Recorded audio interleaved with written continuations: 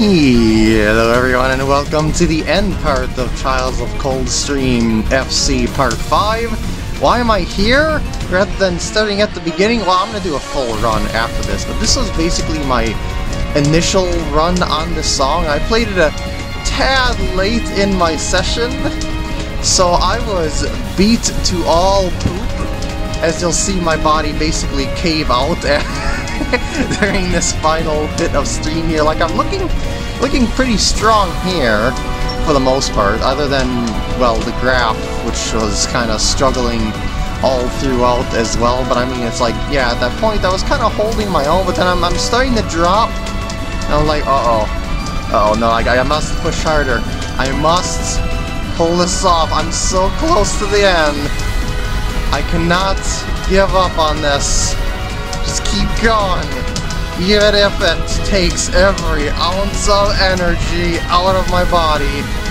But alas, alas, I was just too tired and couldn't quite finish it. And this ending is epic too. It's like the, the musical composition really gets you going and everything like that, but it didn't get me going enough, I guess, to, to keep me from keeling over. Well, not quite keeling over, but you, you know what I mean. Just not being able to finish the, the song here. no! Oh my god.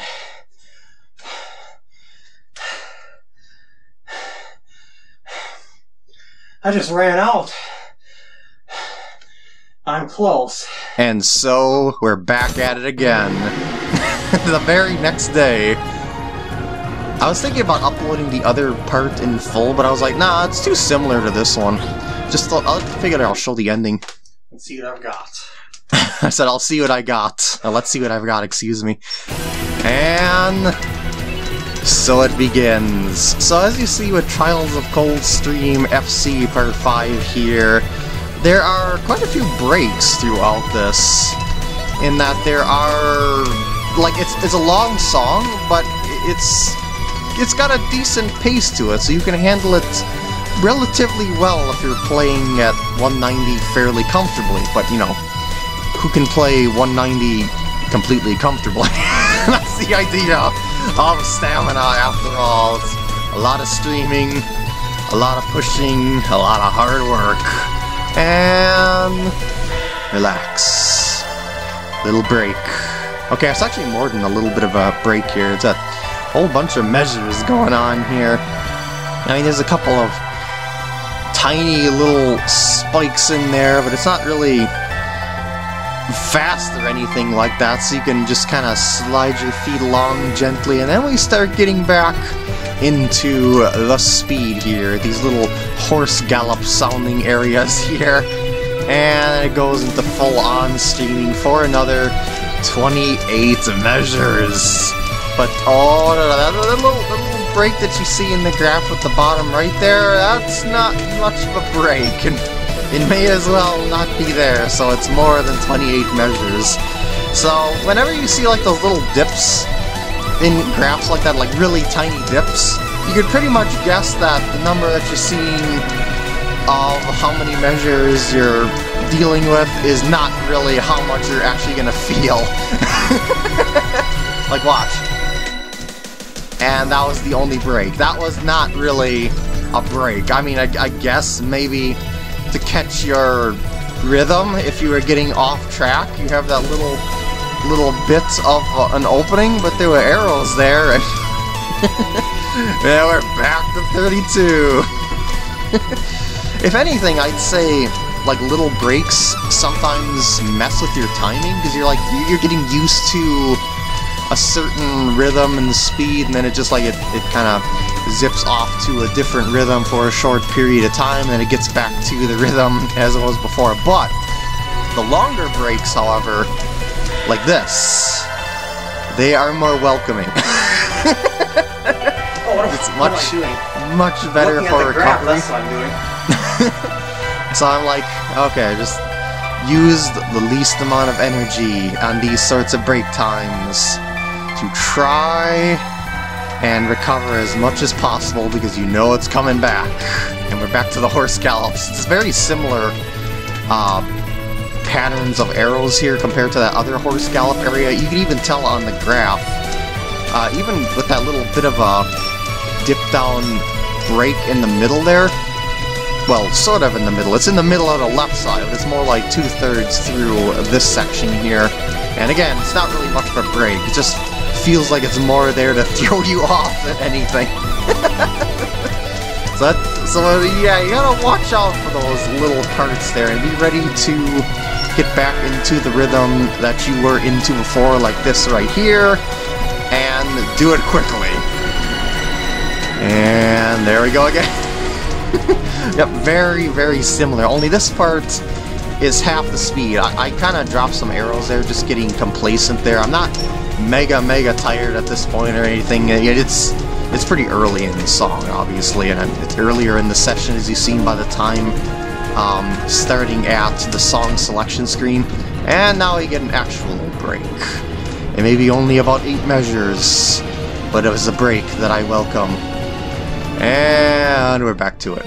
I don't know how I missed an up arrow, and I was like, I, I, don't know, it's like I'm, I'm, like when I'm, I know that I'm in the, for the long haul, I tend to under-hit arrows, because I'm trying to conserve as much energy as possible, I guess, and then I just kind of flub my way through some sections, like, oh no, no, I, I gotta extend a little bit more there with my foot to get to the up arrow or the down arrow or whatever I'm lacking in my reach in trying to conserve energy and yeah, just like I'm constantly adjusting myself, I guess you could say, uh, between trying to conserve as much energy as possible and actually making it through the song.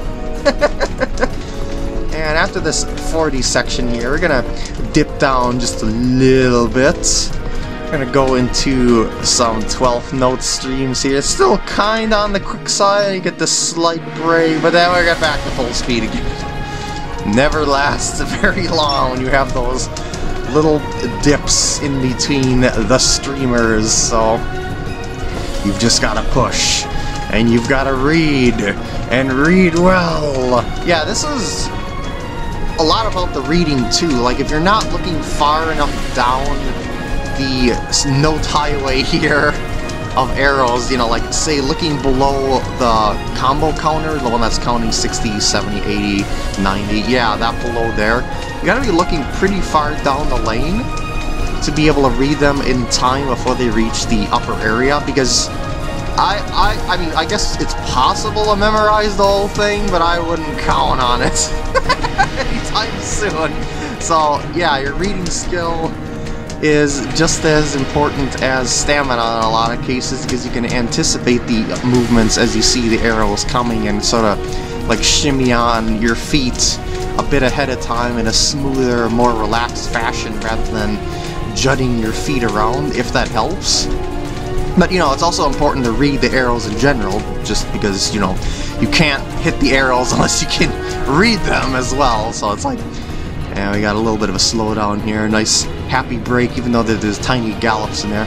But yeah, as I was saying, the the reading is very important to stamina because the thing of you've got to just anticipate things for the sake of like keeping your combo up and whatnot. Because if you're dropping too many arrows, like I was when I was tired, you seen in the early portion of the video, it's, it's gonna be over for you anyway. That that dance gauge only fills up so much no matter how well you were doing in the earlier parts. You've got to stay pretty steady throughout to keep the dance gauge alive, and well, I'm getting complacent again, that's why the dance gauge is dropping a bit. I noticed that, and I'm like, okay, I gotta pick it up, and here we are, back at full dance gauge.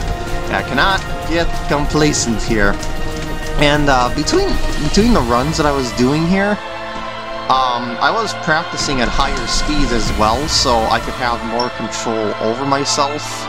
At this and even higher speeds than that, I managed to pass a 208 BPMer, which I'm pretty proud of since I haven't really been streaming that fast.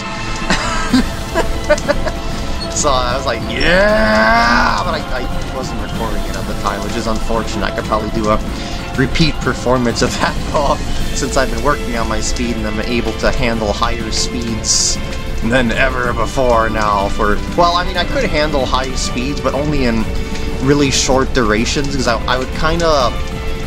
Like, I'd push too hard, and I'd either burn myself out, and I wouldn't be able to finish, or what I would do is I would lose track of where I am because it's so fast, and I'm not used to that speed.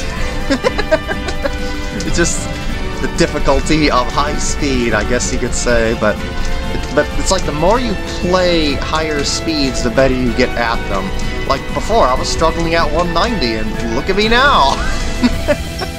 Alright, big break before the big finale here. So indulge in this break as much as you can with the gentlest upward steps that you can.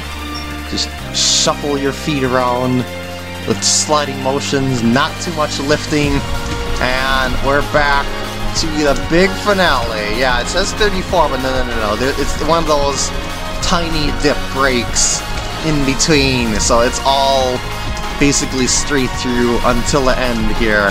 And the song is even getting pretty dang epic to come to the end here.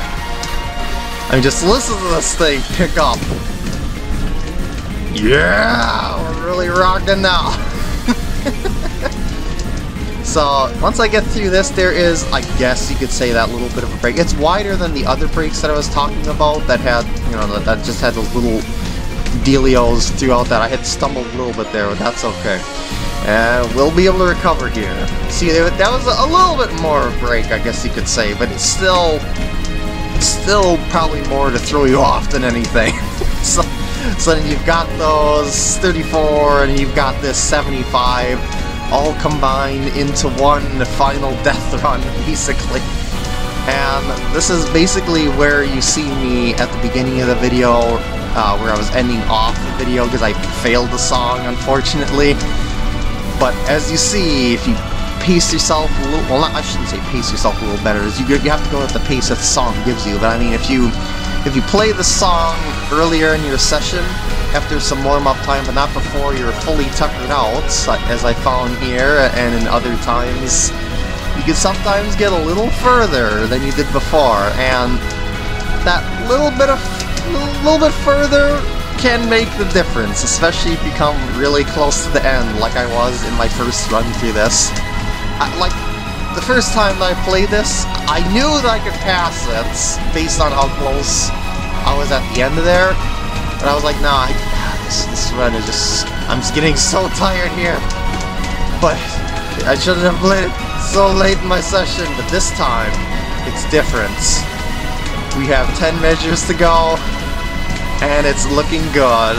I'm in pretty decent control of everything—dance gauge, my pacing, not even that tired. Look at the percentage, we're good.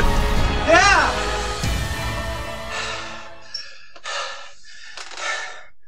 Made it this time. Holy crap! I'm glad I played that early in the session this time. Thanks for watching, and I'll see you later.